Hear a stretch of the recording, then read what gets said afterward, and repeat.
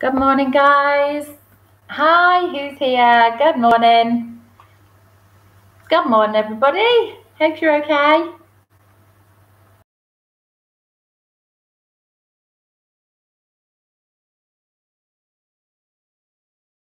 Facebook. Hello, lots of people on Instagram. Hello, Niall. I hope you're all, all okay. Cuppa in hand, of course. Tuff Spot Tuesday today. Yeah, you made it. Glad you made it. Lovely to have you here. Good morning.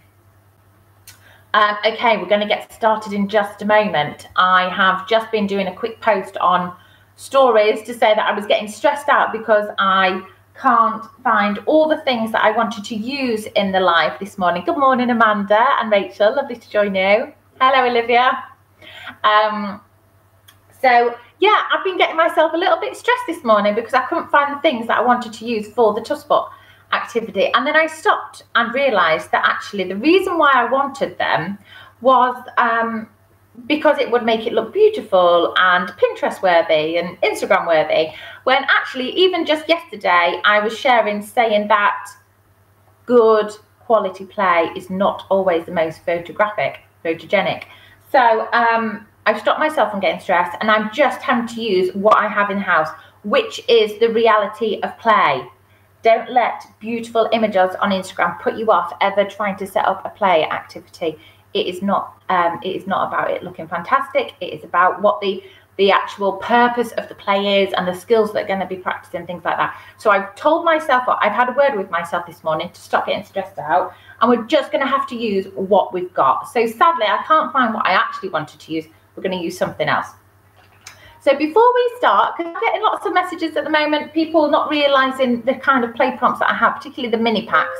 I might have to do a little um, video on these one day so that you know. But there, we, I do have the tough spot play prompts in the mini pack. So 25 activities in there for things like this of activities you can set up in your tough spot because I know lots of people, a bit like water play, a bit like bath time, sand play. I've got all sorts of different ones. Um, for when you just run out of ideas and you're fed up of doing the same old thing. Play-Doh as well. People get fed up of using Play-Doh. So it's just new things you can do with it with stuff that you have in the house already.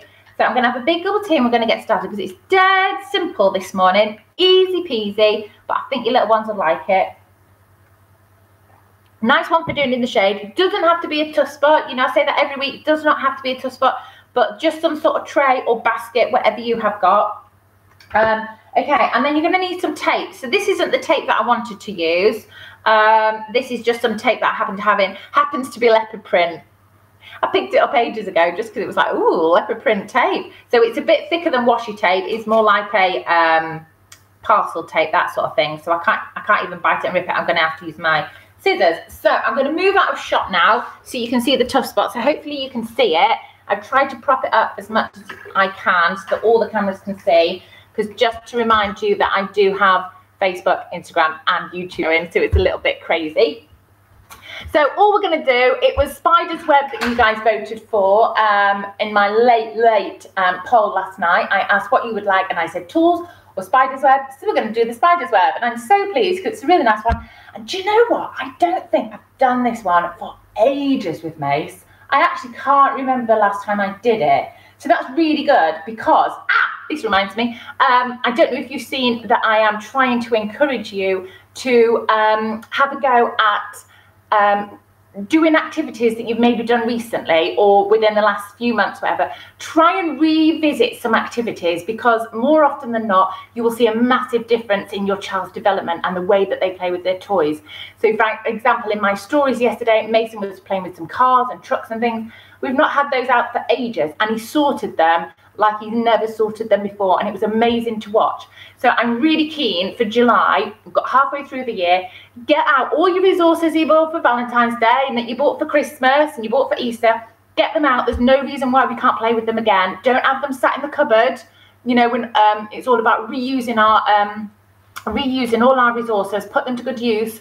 Um, and yeah, just playing with something. So something you maybe did at Valentine's Day or around Easter that they really loved um, get it out again, do it again, and just watch how differently they play with it. It's fantastic. So it's really nice one that we're revisiting that this because I can't even remember the last time I did it with Mason. So thank you for voting for Spider's Web, everybody. So super easy. All you need is some tape. Now, luckily, tape, I'm hoping will show up on the camera. I'm afraid I didn't have time to get any ready beforehand. And all we're doing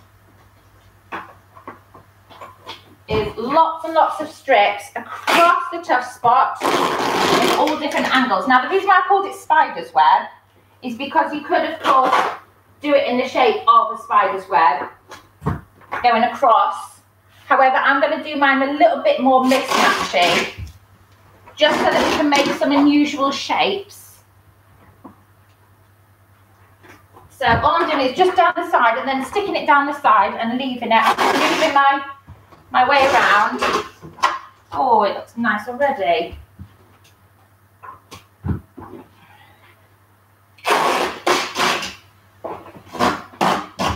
Sorry, it doesn't take long. I'm glad I didn't set up beforehand actually, because then you can see that actually it really doesn't take long to do. Uh, that's probably about much. Let's just do one more. Make it fun. Okay, so yeah, I could have set it up beforehand actually, then, but actually it's quite nice. Sorry, I keep saying actually.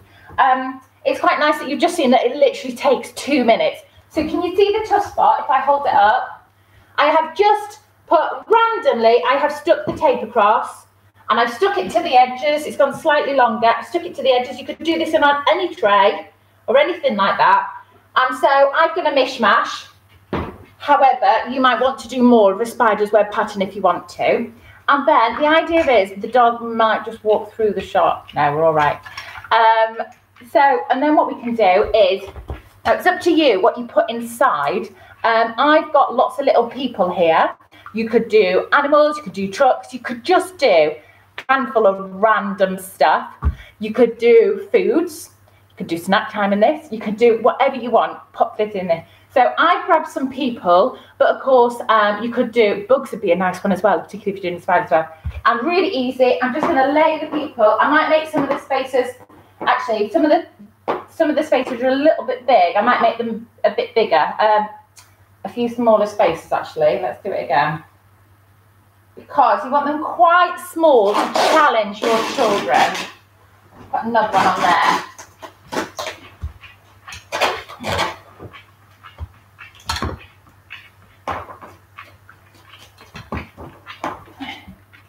There, that's a bit better. Some of the spaces were a little bit big. And then all we're going to do is you can put people, you can put cars, you can put anything underneath. Now mine are slipping because I've got my tough spot at an angle, uh, just so that you all guys, you guys can see it. But you can literally hide, can't get the people to stay, just because I've got it on a slant. You can hide people in it. So again, I might do a, a few more pieces just to make it a bit harder. And so the idea is you cover your tough spots. It's really tricky. I wonder if we could fit another piece over there. Oh, I'll leave it, leave it for now, but I might put another piece as well. And then the idea is you're just making it really tricky for your little one to, to try and rescue the people. So I've got a pair of tongs here, uh, just to, um, tongs out of the kitchen, another pair of tongs, something like that you could use, or uh, maybe if you've got some chopsticks, if your little one's good with chopsticks, or I've got these like, I think, I don't even know what these are, some sort of salad servers, something like that. Or if you don't have any tongs or anything, maybe you could use a big, I've got some big pegs that actually aren't too hard to open and close. And the idea is, is that they have to be really careful and see if they can rescue the people out of the gaps. And so it's just like a little bit of a rescue, basically. So you can just pop all loads of people in, loads of different, if you've got things of loads of different sizes, that's fantastic. Um, like I said, I think I might put go come back and put a little bit more tape on so that the spaces are a little bit smaller. Um, but it's just a really good fun one that your little one can use. It's a bit like, do you remember that operation game? Yeah, oh, someone's just said, yeah, it's like operation. It is like operation, isn't it? Luckily, there's no buzzers going off, but it's a little bit like that. And so it's just really good for their physical skills. I actually forgot to mention, I would have this tray flat on the floor because then your little one is on all fours, balancing. So it's all that physical stuff, as well as trying to carefully use the tongs to pull the um, people or the animals and do the rescue and pull them out. Yeah, I love that you spotted it. It's like operation. Um, so we'll just you can just pull them out of all the different gaps and things like that and just make a little game of it. And i'm sure no wonder smaller gaps for a four year old yeah you can do as your child it depends on the age of your child the smaller the gaps for the older the child. And again the tongs that you use if you've got a really young child they don't really need the tongs they could just use their hands maybe or you could have some really simple big ones like this. Or if your child's a bit older make the tools a little bit harder as well. So they're really working their hand muscles trying to pick up the people trying to get bob and pull him out. Bob the Builder. Um, yeah, I dry this one flat on the floor rather than you could have it on a stand if you want to, um, but I really like the idea if it's on the floor. I love children working at different heights, particularly with tough spots. Um, is that you could have it on the floor? Is that they're kneeling, um, they're almost on all fours as well, all physical, and that they can um, they can pick out the people. So it's just dead easy one today. Yeah. Oh, good. I'm glad you like it. Nice and simple that's the way we like it, isn't it? But yeah, that's it for today. That's a spider's web. Like I said, you could do it more of a spider's web. Great for Halloween. Uh, but you can also do any which way like I've done. Um, and then you've got different size gaps. And then they have to navigate. If you've got some bigger items and smaller items, they're having to navigate them out. So yeah. All right, I'm going to end there then, guys. Thank you very much for joining me. I hope you could see that. It's tricky, isn't it? I could do with lift it up a bit more. Um, Thank you very much for tuning in. I will save this. Oh, I'm so pleased you like it. Thank you. Um, um, this will be saved in um, Instagram, Facebook, and YouTube. So if there's anything you missed, you want to come back and have a look at it later, you can do. Any fan mail is almost always welcome. Um, yeah, we'll finish at that. Have a lovely day, everybody. Thank you very much. I will see you soon. Oh, by the way, I am working on something that's coming soon. It's taking up every minute of my day at the moment, but I am hoping it will help us for summer holidays. So there is something on your on its way. I don't want to say just yet, uh, but something is coming. So thank you very much. See you later. Bye, everybody. Bye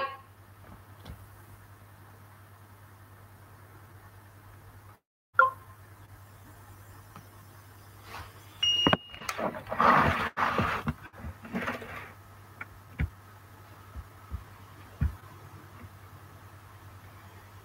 Mm-hmm.